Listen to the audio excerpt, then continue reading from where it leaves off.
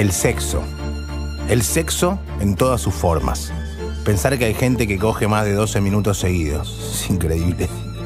¿Qué restringe la sexualidad? ¿La cultura? ¿Los cuerpos? ¿El alba? ¿Perro? Muchas veces escuchamos hablar del sexo tántrico. ¿Qué es? ¿Cómo se practica? ¿Es coger? Perro. Con Olga hablamos de cositas lindas. Perro. Hablaremos de sexo. ¿Cierto? De sexualidad. ¿Cuál es la diferencia? El sexo en realidad es más genitalidad. La sexualidad es algo más amplio. Bien. Es una diferencia importante para la calidad. Bien. ¿Cuándo, cuándo algo erótico empieza a ser sexo? No hablemos de penetración. ¿Cuándo algo, cuando ya besarse lo es?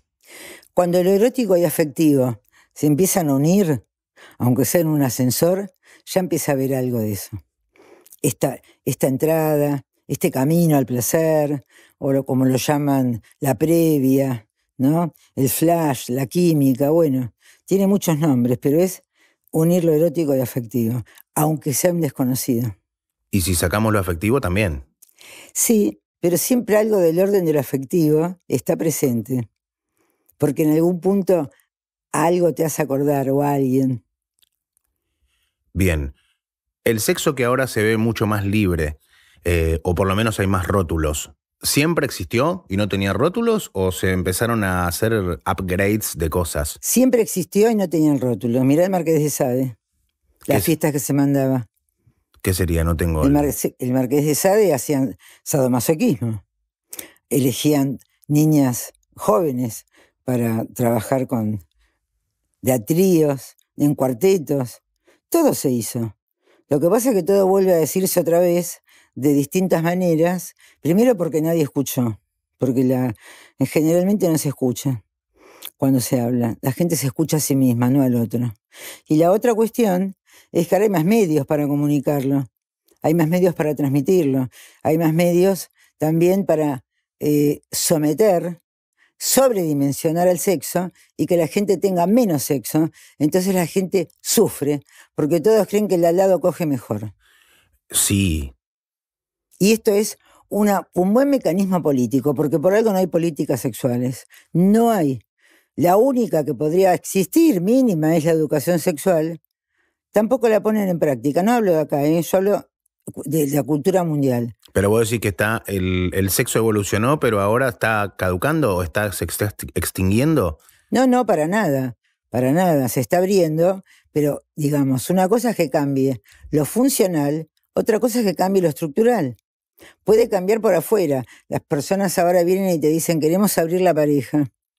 No. Bueno, algunas les va bien, otras se terminan divorciando, no todas están listas. Vos la ves a la mina con cara de que tiene que seguir haciendo la torta royal, ¿viste? Quieren abrir la pareja, va a ser un desastre. Vos ya lo ves. Ya lo ves, lo ves que se, le, le decís, esperen un poco, hay que hablarlo, porque abrir la pareja no es que cada uno vaya a salir con otro sin que el otro sepa. Eso es meter los cuernos, y siempre fue lo Sí. mismo. El el otro día hablaba con unos amigos y me contaban que tienen pareja abierta y que tienen la consigna de que uno, si el otro pregunta, hay que decir la verdad. Entonces uno ya sabe que si pregunta, atajate. Bueno, pero en realidad hay que decirlo antes. El código de la pareja abierta, Depende del contrato que tenga la pareja. el contrato, del, yo te digo, por ejemplo, cuando hablan del poliamor, Sí. de la pareja abierta, hay un pacto fundacional. Ese pacto fundacional surge con el mismo nombre que se le da. Entonces, una pareja que decide, que hablan, que quieren tener pareja abierta, cuando van a salir, primero que en general tratan, comienzan con conocidos, al distinto que, que decía una vez acá en, tu en un programa tuyo un, un swinger, eh, comienzan con conocidos. Y además, eh, tienen que decirlo. No, no pueden salir y después te cuento, che, ¿sabes qué? Me fui, estuve cuatro horas con Fernando, tu amigo. No, ahí se pudre todo, porque Sí, sí. ese no es el pacto fundacional. Lo que está cambiando ahora es el pacto fundacional. Eso sí, cuando vos me decís si siempre se habló de sexo, o si siempre pasaron estas cosas, te digo que sí, porque por eso digo, nos remitimos al Marqués de Sade y no hay nada más porno y bestia que el Marqués de Sade, ¿no? Y, y lo que pasaba en los palacios y toda la historia. Ahora, la diferencia es que el pacto fundacional de la monogambia está rompiéndose, porque el Marqués de Sade no estaba casado. Ok. Esa es la diferencia. Voy un poquito a lo físico. Una duda que, que, siempre se habla y demás. Con respecto a los genitales, ya sea del hombre o de la mujer, mm.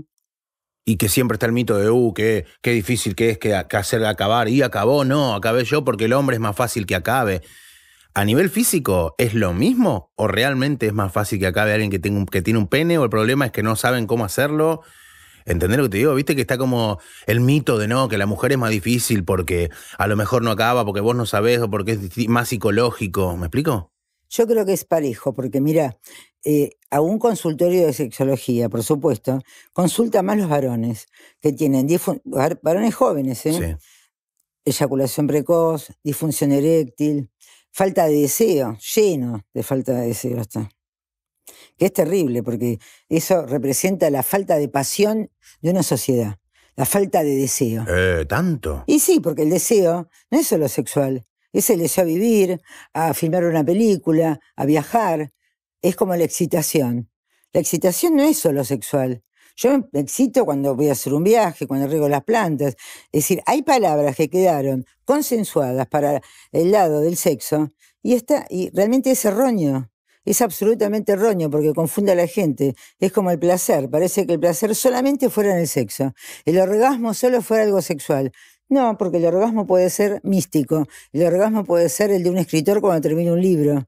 ¿Se entiende? Ahora, lo que vos preguntás, es verdad que en la mujer es más difícil llegar al orgasmo porque necesita más tiempo de acumulación de sangre. Es algo biológico. Ah, por eso, hablemos físicamente, ponemos cultural y represivamente de la mujer teniendo placer.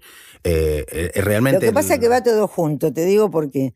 Porque justamente si en el hubiera educación sexual, y esto lo podrían enseñar en la primaria, que te vienen a romper los huevos con ese, el pajarito que come el piristilo de la flor y va a reproducir la otra flor, y todo, te tienen toda la secundaria con lo mismo. Y lo importante, no se habla, ¿no es cierto? Sí. Que es lo, verdaderamente importante. Entonces, saber que la mujer tiene más órganos para llenar, que tiene más tiempo para concentrarse, necesita más tiempo de concentración, que tiene una mirada más panorámica. Entonces por ahí el tipo dice, yo ya tenía todo listo, la mina estaba entregada y no sé qué pasó, me dijo me voy. Y a lo mejor vio una cucaracha, o a lo mejor vio una media tuya tirada atrás de, algún lado y, y se fue. Se la bajó. Claro. Bueno, yo la verdad eso la desconcentró. A mí la palabra esa de decir la bajó, la secó. Sí, es metafórica. A mí no me gusta, porque en el caso se le baja algo al varón, ¿viste? A la mujer y las tetas no se les baja. La secó. Entonces me parece que sí, obvio, la mujer necesita más condiciones, porque además la sexualidad femenina es más invasiva. A vos te pueden meter un dedo en el culo, por supuesto. A mí también. Pero no te van a poner algo más fuerte en la zona de la vulva. Que en en el Tantra se llama Johnny y el pene se llama Lingam. Digo, para pasar algunas palabritas en sánscrito. Ahora nos metemos de lleno en eso. Pero tenemos preguntas de, sexología, digamos, en general. Sí, sí. La pérdida de deseo cuando vos decís llevada al sexo, ya sé que es pérdida de emoción en total, en general, en la vida, pero hay gente que, por ejemplo, tiene la libido puesta en otro lado y lo sufre. ¿Por qué no se amiga que no quiere culiar y listo? ¿O por qué está mal visto el no querer culiar, obvio que se, estabiliza tu pareja, pero alguien que está solo, es qué problema, no culiás hace dos años. Pero le hablaba eso cuando llegué hace un rato. Mm. Eh, sin coger no se muere nadie. Sin respirar, sí. Tardás más sin tomar agua y tardás más sin comer, pero digamos, sin coger nadie se muere. Esto eh, está sobredimensionado. ¿Por qué lo sobredimensionan? ¿Por qué está tan sobredimensionado una mujer va a comprar una Vic al lado hay dos tetas gigantescas, perfectas. El tipo va a comprar un auto y al lado hay una mina inalcanzable para él, ¿viste? Porque lo que hacen es que te, se te vaya el deseo para que vos consumas más. Tener más tiempo para otras cosas. No, tener menos tiempo. Porque Bueno. sufrir, ¿sabes el tiempo que lleva? Explícamelo de nuevo, a ver. Si te baja el deseo, te baja la pasión. Sí. Eso lleva mucho tiempo porque la persona entonces está deprimida, tarda, ahora está de moda la procrastinación. Todos los pacientes jóvenes dicen, yo procrastino, viste, se puso de moda, se ponen de moda palabras que siempre existieron. Quiere decir, no hacer las cosas en el momento, sino bajo presión. ¿Y quién no hizo bajo presión las cosas? Yo me acuerdo en la facultad estudiaba tres horas antes un final. Tengo buena memoria, tenía suerte, pero digo, no, no iba a estudiar dos meses antes un examen, ¿no es cierto? Entonces, respecto al sexo, es lo mismo. Eh, si está sobredimensionado, en realidad, en vez de acercarlo, si vos pones personas con unos lomazos impresionantes, ¿no es cierto? Y que pueden estirar la pierna hasta el ventilador y después se tira otro con un corpiño con flecos. Toda una escena que se puede dar, se podría dar en la pornografía. Ahí es otro tema, ¿no? También, que es, es solo para varones. Ahora entramos. Seguimos. No estoy tan iluminada para que me cortes a cada rato. Me estoy despabilando. Te aviso por las dudas. Porque te estaba queriendo Pero con el tiempo, sí, sí, sí. Cuando le bajan el deseo, le, le suben el deseo para que todo tenga deseo, todo. No. Toda Yo la lo que te estoy diciendo es que cuando se sobredimensiona, Sí. que hay que coger cuatro veces a la semana, que hay que tener un lomazo bárbaro, que hay que estar flexible, nadie coge, porque ¿quién es así? Unos pocos. Tenés razón. Y La también. mayoría tiene que laburar todo el día, atender a los pibes, por lo menos uno, ahora tienen uno, viste que el censo dio la baja más alta de la historia en Argentina, que no hay baja de natalidad. Ya se sabe en todo el mundo, ¿quién quiere tener hijos? Es un laburo bárbaro. Pero ahí te linkeo rápido la pornografía y te digo que la pornografía es real que eh, potencia eso de la. La pornografía potencia, te voy a decir que, las desgracias, porque el varón se acostumbra a, hacerse la paja, ¿no? Disculpame Sí, la sí, sí. expresión, pero es la más práctica. Sí, obvio. A mí me gusta hablar en salame picado grueso, porque los libros yo me los leí, pero la verdad que se entiende mejor cuando uno habla atravesando al otro con la palabra, ¿no? Ah, bien. Entonces, eh, realmente la pornografía es para el hombre, primero, ah, por eso a las mujeres nos aburre, porque en la, en la pornografía se hace todo lo que el varón no puede hacer en la realidad. ¿Viste? A la mujer no le duele el sexo oral, la penetran dos al mismo tiempo, hace sexo oral rápido y siempre sonríe y está macanuda. Todo pasó en cinco minutos. En la vida real te costó cinco meses, por lo menos, y diez cenas, qué sé yo, no sé. Y si lo lográs, y si lo lográs. Porque Pero la pornografía potencia también el hecho de la estética, de tener una poronga gigante, de durar una Por hora. eso te digo que estropea al varón. Sí. Todos los tipos vienen acomplejados. La tengo chica, primero hay que enseñarles que se miren de costado, porque de arriba todo es chico. Las tetas se caen, el pene no se ve, la panza parece más. Hay que mirarse de coté, En un perfil de costado. De perfil hay que mirarse. O de abajo. Yo te digo que de perfil es mejor, la probé de todos lados, ¿eh? pero el perfil es lo que da la medida más correcta. Entonces, eh, Pero la mujer también se creyó que realmente hay que tener un pito grande para que esté mejor. ¿O realmente siente mejor si tenés un pito grande? pero por supuesto, yo te voy a explicar algo. Mira, a mí me embola cuando empiezan Una buena Yo me acuerdo el primer, el primer programa que hice, era un programa que hablaba justamente si el tamaño importa. Hace un montón, yo tendría cuarenta y pico. Eh, un programa bueno de la tele, fenómeno. Pero por supuesto que el tamaño importa, si no, ¿por qué las mujeres operan las tetas y el culo? Porque al hombre le gusta. Sí, pero eso es visual. El, el- el pene en el momento de la penetración no es visual. Es, es real. Ah, y cuando vos penetrás un sexo anal en una mujer, ¿te da lo mismo el culo de Yoko Ono o un culo Armin armado? Déjame de joder. pero pará. Déjame de No, no, joder. no, pero el ano Lo es el mismo. El lo ano es el mismo. para todos. El ano es el mismo. Obviamente, pero el de Yoko Ono no me... Mira. prefiero agacharme a Lennon. Mira. Pero lo que te digo es que... El tamaño importa, porque si realmente es un pene muy chico, Escucha, Rodri. el pene tiene que llegar más o menos hasta el cuello del útero, del cervix.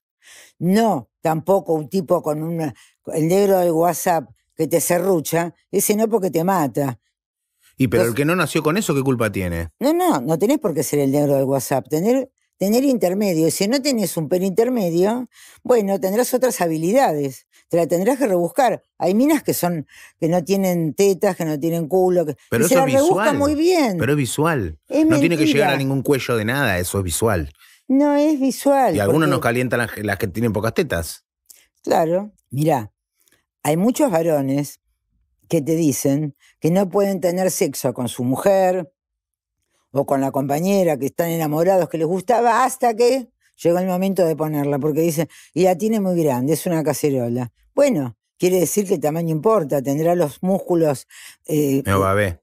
lo- claro, tendrán los músculos del canal vaginal flojos, que de todas maneras no importa, porque el canal vaginal no es un órgano sexual, es un órgano reproductivo y es un órgano para que, se, para que salga el bebé. O sea que el tantra, por ejemplo, te lo erotiza un poco, pero el único, el único eh, órgano sexual femenino, ¿cuál es? Y yo te diría la vagina. El clítoris. Porque la vagina es el canal vaginal, se llama vulva, La vulva. todo es vulva. Vulva. Claro. Entonces, el clítoris, porque es, por eso le cortan el clítoris en Oriente. en Para que no tengan placer. Para que no tengan placer, porque si fuera la teta izquierda. que- Órgano eréctil homólogo del pene, dice claro, el diccionario. Sí, es más grande que el pene, porque rodea toda la vulva. Por eso las feministas muy a ultranza no quieren que se corte la base de- este, cuando se hacen los partos. Ah, mirá. porque dicen que siempre se corta un poco del clítoris. Pero bueno, no hay que ser fundamentalista. Es peor un desgarro, es peor que el bebé tenga un problema. Pero ¿no? el clítoris es como un glandecito. Es como un glandecito, exactamente, pero adentro es más grande, tiene más cuerpos cavernosos, esponjosos. Es más grande que el pene. Y es medio Por monje, porque está más. como, está como encapuchado. Fíjate que cuando el pene se erecta, sale la capucha. Sí. Y cuando el- se erecta el clítoris, se encapucha. Fíjate lo sensible que es. Las terminaciones nerviosas que tiene. Es muy, muy sensible. Vos fíjate que la mu- todas las mujeres tienen masturbaciones de distintas formas, como mujeres hay en la tierra. En cambio, los varones que tendrán cuatro, cinco, seis modos. Sí. Porque tienen un órgano externo, es más fácil. Es más fácil que se masturben. Se bañan, se hacen los giles, se tocaron con el jabón, se levantaron un poco cachondos y bueno, de paso me masturbo y quedo limpio. Para la mujer es toda una complicación. Tenés que. Hay mujeres que hacen, se masturban de una. Bueno, vos las habrás visto. Yo las vi en el consultorio, mujeres anorgásmicas, así que me muestran. Pero hacen unas posturas que yo si me tengo que poner en esa postura me siento cuasimodo, ¿viste? No, no, no sentiría nada. Pero bueno, el clítoris es pequeño por afuera y hay que encontrar el justo ese punto. Por eso siempre es bueno que la mujer se masturbe delante de su compañero, porque el varón la única, la única manera que tiene de aprender es mirando. ¿No se le puede poner como un pin LED? Se podría, pero todavía no se usa. Un chip también. Otra pregunta antes de que entremos al portal tántrico. Eh, No es un portal, ¿eh? Me tomo licencias poéticas. Es poético el tantra, sí. Claro que sí. Con el tema de la pornografía, que cada vez es más real, yo me pongo unas escafandras y veo un polvo, digamos, como que yo soy el protagonista, incluso miro hacia abajo y se mueve y es mi cuerpo, es el de otro.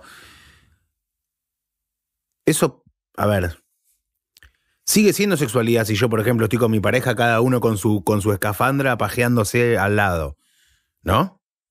Pero digamos, ¿cuánto está perjudicando todo ese avance? ¿Perjudica o sirve? Para mí es algo más de esta sociedad absolutamente narcisista e individualista.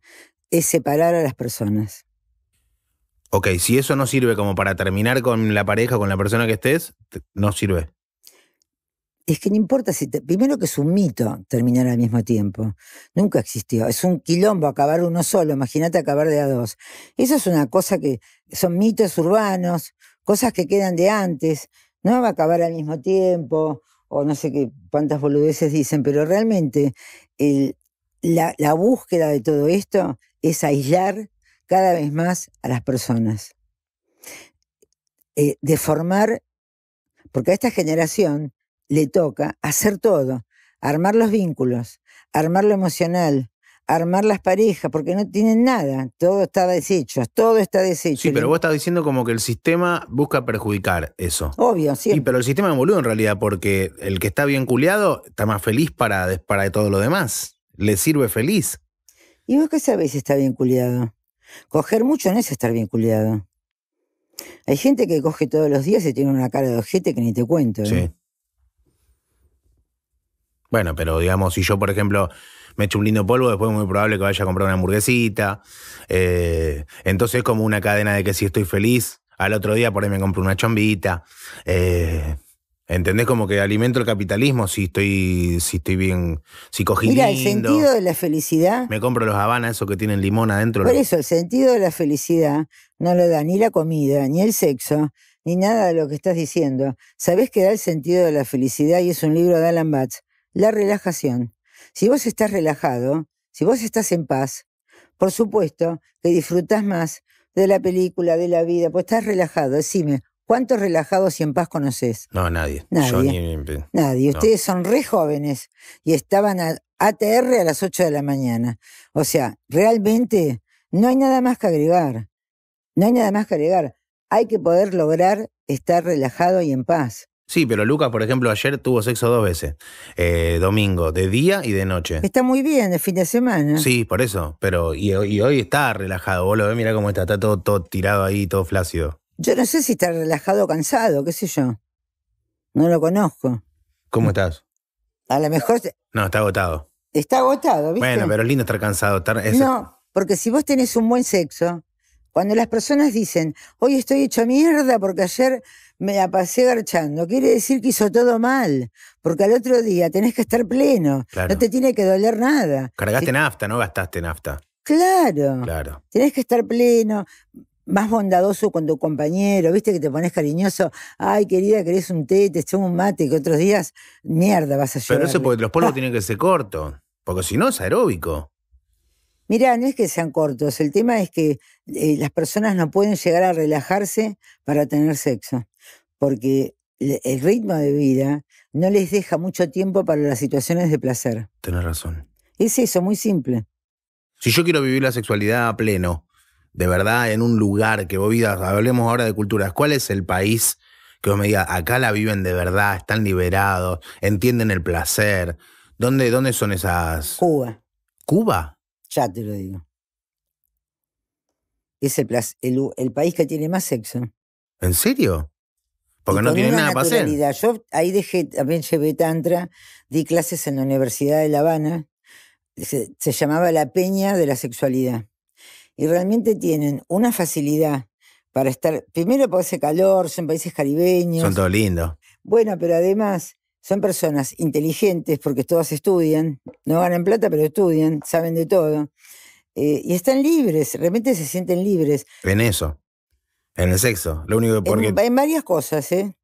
Bueno, pero antes ya que vos decías que el capitalismo aplacaba la sexualidad, en este caso es al revés. Claro, por más que el capitalismo los tiene bloqueados, injustamente hace más de 30 años, es un delirio, pero bueno, la realidad es que siguieron siendo, hacen la mejor medicina, ¿no es cierto? Cuando alguien de derecha está reventado y se quiere curar algo jodido, se va para allá, viste, ni lo duda. Yo cogí en Cuba. Yo también, todos los días. Yo creo que Cuba uno la recoge así de pinga en pinga, ¿viste? Como dicen ellos. Mira qué lindo.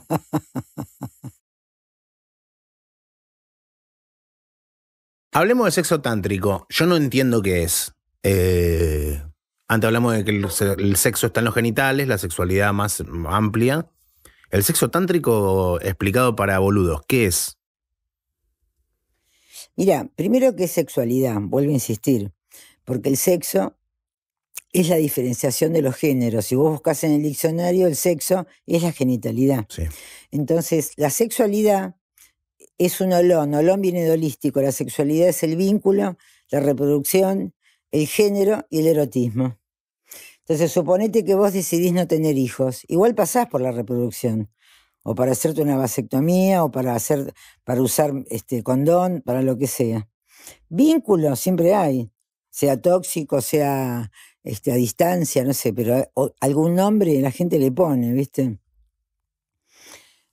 Género, bueno, hoy hay para elegir, hay que ir al 11 a comprar más o menos dentro de un tiempo porque cada día aparece un género nuevo, ¿viste?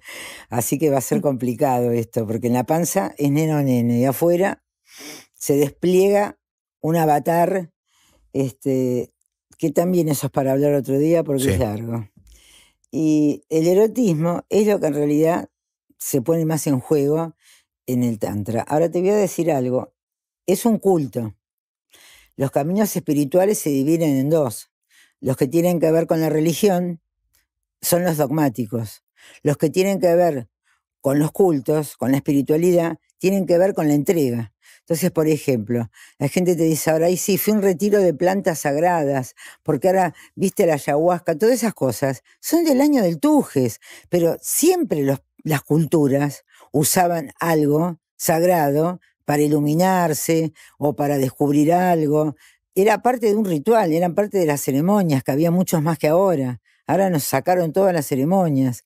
Entonces el, Tantra lo que tiene de distinto, de maravilloso y de interesante son dos cosas. Es contracultural, ya te explico qué es, y no ingieren nada de afuera. O sea, no hay que ingerir nada. Por ejemplo, en el chamanismo te tenés que morfar el hongo alucinógeno y, caer agarrado a un árbol. Si era niño interior, no sé, pero yo terminé agarrada porque se ve que el hongo me mató. Cuando era chica había hecho mucho chamanismo, pero la verdad el tantra fue lo que más me, me atrajo por eso, porque no tenés que ingerir nada y trabajás con la conciencia pura. ¿Qué quiere decir que es contracultural? Nació en el sur, nació en Madrás, en toda la zona sur, porque estaban en contra del sistema de linaje y de castas, que siguen estando en India, a pesar de que India hoy es potencia, pero sigue estando. Entonces, los indios, que eran sudras, por ejemplo, que son los de los vendedores para abajo, estaban podridos, de que por más que hicieran plata nunca iban a poder salir de esa condición. Porque antes pasaba en Occidente, ahora ya no pasa más, ¿no? No pasa más eso. Ahora, contracultural, ¿qué quiere decir? Que estaban en contra de las castas y que la mujer la mataran. No querían que siguieran matando mujeres. En India, todavía hoy, las, las, previas de los sábados parecen películas de guerra, no hay ni una mina, ¿viste? O se nota todas las mujeres que mataron y que no pueden salir. Y esa, contra, esa cosa contracultural, política que tiene el Tantra, de rebeldía, de transgresión, como todo oculto es para evolucionar, como todo oculto es para dejar la miseria del sufrimiento. ¿Qué es dejar la miseria del, sufrimiento? La ignorancia espiritual. ¿Qué es la ignorancia espiritual? Justamente eh, la persona que está centrada en sí misma y se caga en el otro. Esa es la ignorancia espiritual, porque es la unidad. La espiritualidad es la unidad. ¿Viste cuando viene alguno que se fue en mi torco tres días y baja y dice, soy un ser de luz ahora. Es un pelotudo. ¿Qué ser de luz? Estoy de acuerdo. Es un pelotudo, ¿viste? Antes de ir ya lo era. O dice, soy especial, de milanesa, flaco, sos especial. claro, porque además, justamente lo que no pueden es conectarse con el otro. Y la unidad es el adentro y el afuera. Eso es ser espiritual. Nadie dice yo soy espiritual. Lo, espiritual se lo dice el otro. ¿Y qué es el sexo tántrico? Definímelo. La sexualidad tántrica tiene que ver con una sexualidad que te va a hacer trascender, conectar, ¿no?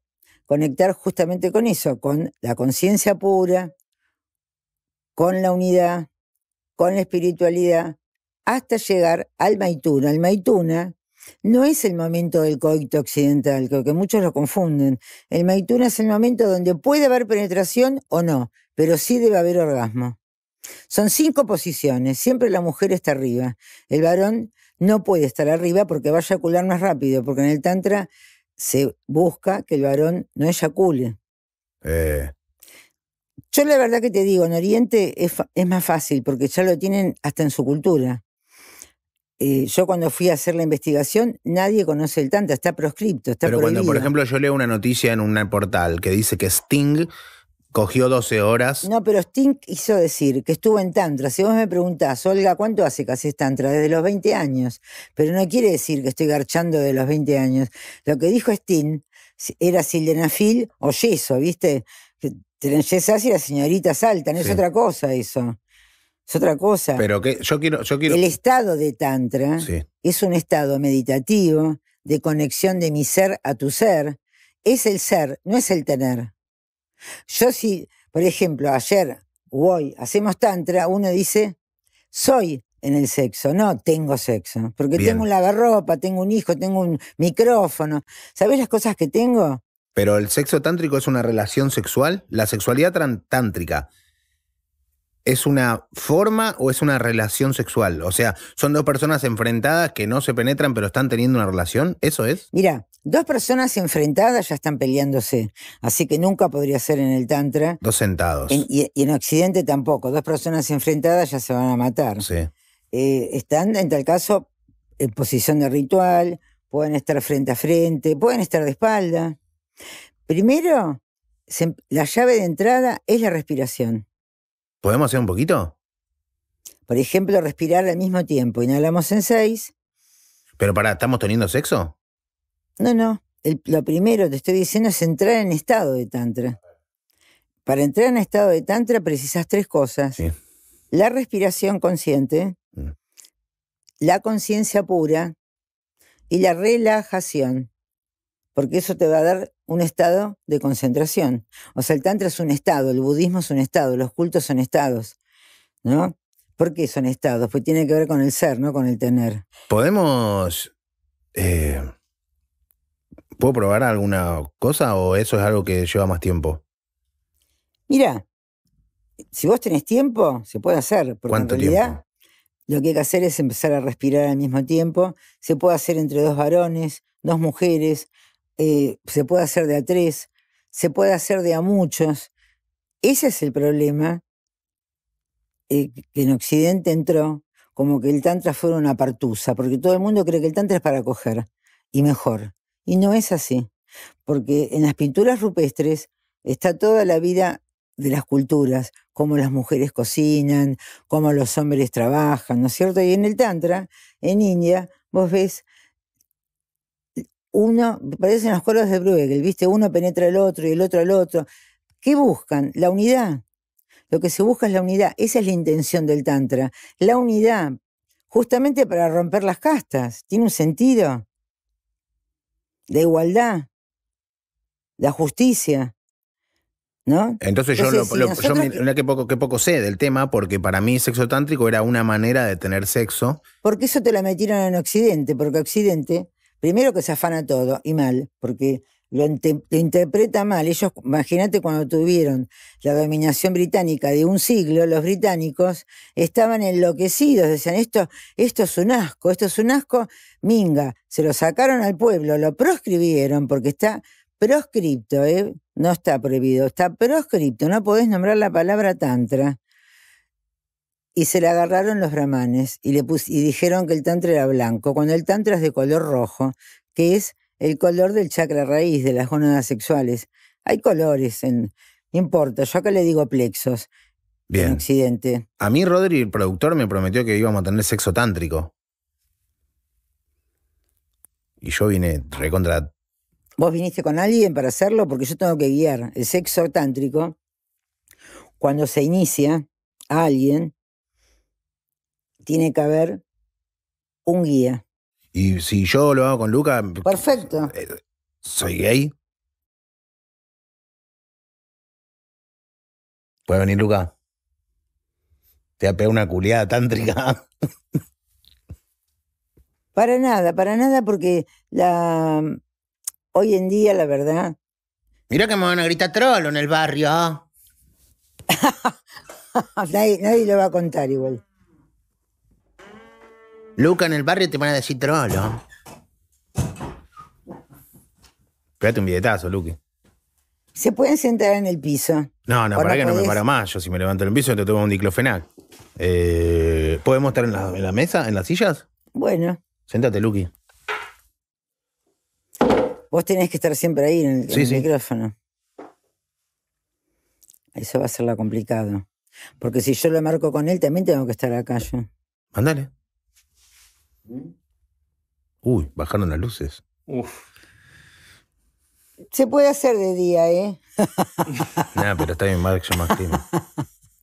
Mira, si ustedes llegan a juntar la coronilla, inhalan y exhalan.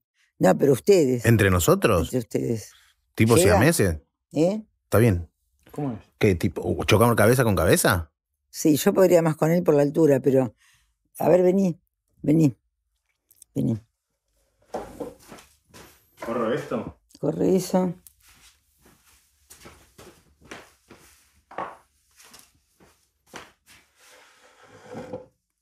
Supónganse que estamos de pie, ¿eh? Sí.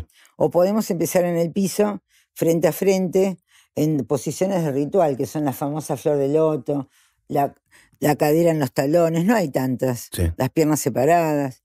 Entonces nosotros nos miramos, juntamos la coronilla, inhalamos en seis, las palmas para arriba, eso, inhalo en seis, exhalo en seis.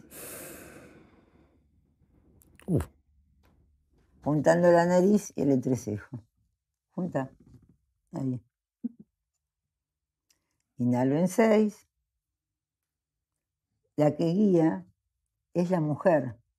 Seis tiempos. Seis tiempos. Lucas. Respira, Porque la- inhala en seis. Mira, Uno. la llave de entrada es, el, es la respiración. ¿Por qué? Porque para que controles la eyaculación, o sea, lo más divertido es el orgasmo. A nadie le interesa acabar y quedar como chancho tirados. ¿Cómo no? Y ustedes tienen que esperar, si el tiempo refractario de ustedes cada vez va a ser más largo. Pero- Van a ver cómo se van a acordar. Qué suerte que vino Olga, nos enseñó cómo durar más. Porque lo más divertido es el orgasmo, chicos, no. eh, eh, exa- eh, largar, descomprimir. Eso lo haces, te masturbás, si te calentás con una película. Siempre es mejor descomprimir que estar eh, tenso. Pero digamos, el orgasmo es lo que te gusta. ¿Acabaste, Luca? No, todavía no. Una sesión de tantra mínimo acá en Occidente son tres horas. En Oriente eran más. Y se, y se, La iniciación eran 40 días. y mirá. se termi- el remate es acabar físicamente. Y el remate, el re- el remate es poder eyacular, Sí, pero ambos. después de haber orgasmado los dos. Pero el orgasmo no, eh, no viene eh, con, la eyaculación. Mirá, si nosotros vemos una película, nos calentamos todos los que estamos acá. Bueno, ¿cómo van a descomprimir ustedes? ¿Masturbándose? Sí. ¿Cómo me voy a, cómo voy a descomprimir yo? También. masturbándome. Sí, obvio. Ahora, ¿es lo mismo? No, porque yo no eyaculo. Yo no largo semen, no largo espermatozoides, por lo tanto, ¿qué voy a necesitar? ¿Qué fue ese ruido?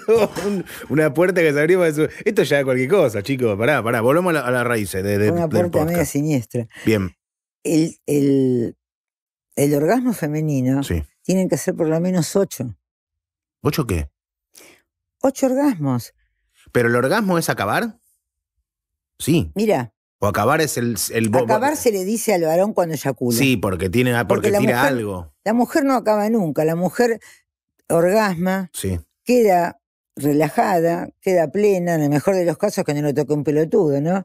Digo, queda plena, qué sé yo, che, me sacaron el agua, si podés tráemela a alguien, porque Ahí tengo sed, porque hablo mucho. Eh, en realidad, la mujer podría tener sexo todo el tiempo, porque solamente hay cuatro días al mes, cuando ovula, que tiene como una disparada hormonal Sí.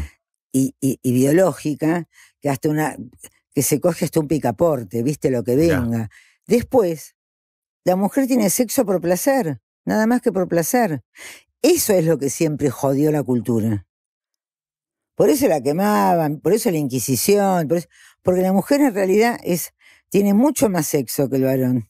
Por placer, porque fértil es cuatro días y el varón siempre. El varón siempre, claro, por eso también uno se pregunta por qué no saldrán las pastillas para el varón en vez de para la mujer. Sí. ¿no? Si el varón siempre, pero esto de que el varón siempre sea fértil también hace que su sexualidad sea la causa de que los varones mueren más jóvenes, porque tienen mucho esfuerzo eh, del corazón. Es importante el orgasmo y no la eyaculación porque te cubre de cardiopatías. Tiene muchas ventajas, ¿eh? El orgasmo en sí. Vos y la mujer. En el varón también. Pero ¿cómo el hombre puede tener un orgasmo sin eyacular? Eso es lo que te estoy tratando de explicar hace una hora con el tantra. Es que no lo estoy entendiendo por ahora. bueno, entonces mira, Está bueno por no ensuciar. no ensucias. Bueno, el operado de próstata tampoco ensucia. Esos son re limpitos. Bueno, eh, en realidad lo que vos tenés que pensar es que la entrada es por la respiración. Sí. Y cuando vos estás por eyacular, tenés que inhalar, absorber, retener, porque Mm. si vos exhalas es muy difícil que puedas eh, sostener tu eyaculación. Por Sí. eso el varón va abajo.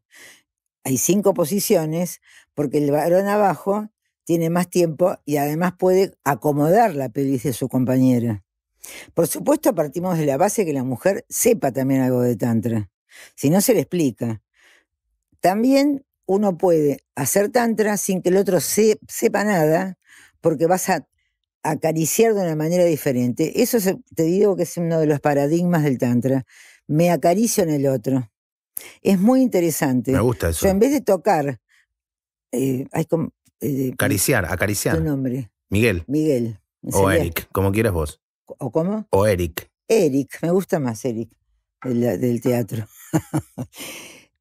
Eh, me acaricio en el otro, ¿qué quiere decir? Que ninguno es obrero del sexo, que vos de entrada te incluís. ¿Entendés? Yo en vez de tocar tu mano, me acaricio mi mano, me acaricio el corazón, me acaricio las piernas, me acaricio los pies en el cuerpo del otro. El otro hace lo mismo. Claro. Pero por supuesto, inmediatamente yo incluyo tu textura, tu temperatura, tu manera de moverte, tú, hasta te diría, tu, tu emocionalidad. La franela. eh. Es que no- la franela es más cuando vos lo buscas exclusivamente para calentarte, ¿me entendés? Esto es conectar. Y esto es conectar Eh, primero. entendí. Esto es conectar. Y es otra cosa, porque realmente eh, las personas que van a los grupos no se conocen y termina un grupo de tres horas y no pueden creer que con un desconocido hayan alcanzado ese grado de intimidad sin haber penetración ni nada. Claro. Y tuvieron orgasmos a veces por- en todo el cuerpo. Y tuvieron una sensación de intimidad como si se conocieran de toda la vida. Lo interesante es que también trabajas con personas que a lo mejor en la calle le tirarías maní porque te, te parece horrible, y, es- y en un taller de tantra, en un taller de tantra, te que no, porque importa el cómo, no el con quién, vos no podés elegir. Trabajás con alguien, haces una, un- una ceremonia, porque son todas ceremonias, y resulta que esa persona te hizo dar vuelta, te trajo un cambio que vos ni lo pensabas, porque Claro. justamente estabas más eh, relajado. Porque no, te produci- porque no te producía nada. Uno se pone tenso cuando una persona dice, ay, qué flash, qué química, ¿no? Y ahí tiene miedo del abandono, tiene miedo de perderlo, porque eso parece... Son todas boludeces, porque si tenés que perderlo, lo vas a perder. Y además que aquel que te da mucha química, el primer día puede ser que el día 15 ya te pudrió, porque también tiene que haber diversidad intelectual. Bien. El que quiere iniciarse en este mundo fuera de, vos, ¿no? Que te puede chusmear, encontrar, leer, escribir, ir. eh, ¿Dónde está la posta de, para leer sobre esto y, y ver eh, el manual, digamos, la Biblia de esto? ¿Cuál es? Mira, el primer libro que entró a Occidente, a Occidente, ¿eh? se llama Principios del Tantra de Arthur Avalon, que era un inglés, que era alcalde de Calcata, y después se fue y escribió ese libro, que es un manual así, bastante engorroso. Si no hay que leer, los tantras significa escritura, los Upanishad.